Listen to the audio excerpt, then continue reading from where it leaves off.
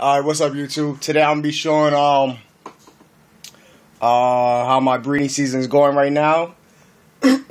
Because it's in uh full effect. So let's get started. I'll show you these two right here.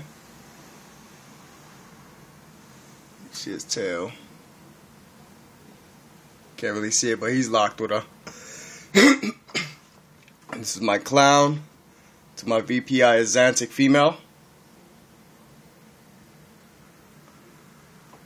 Get, hoping to get some double hets to hold back. See what else we got.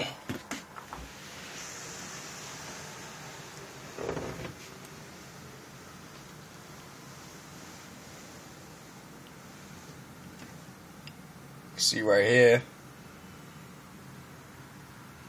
It's my black pastel Hetzer Pied. Been doing this thing with the pieds.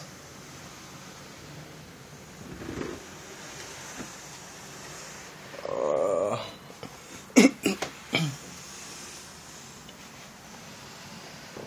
goes a spider female with my tiger male. Let's see if you can see it. Uh, I think they actually came unlocked already. They were locked this morning from last night to now. Can't really tell. I think he's done though. He's been breeding with her for the last two weeks. Uh, see, got here. Got a bumblebee female with my male leopard.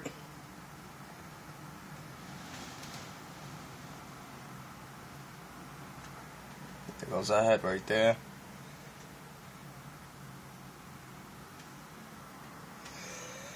They're doing their thing. I mean, so far only got the lavender albino's not breeding today. Was breeding all over the this weekend. But um, only got like three males that haven't bred yet. Two are proven breeders. Uh, they came on hook, but they were breeding earlier. The super pastel to my male spinner blast. Yeah, I opened up the tub a little while ago to check on them and they started to move away. I guess he unlocked from then. Yeah, they were breeding.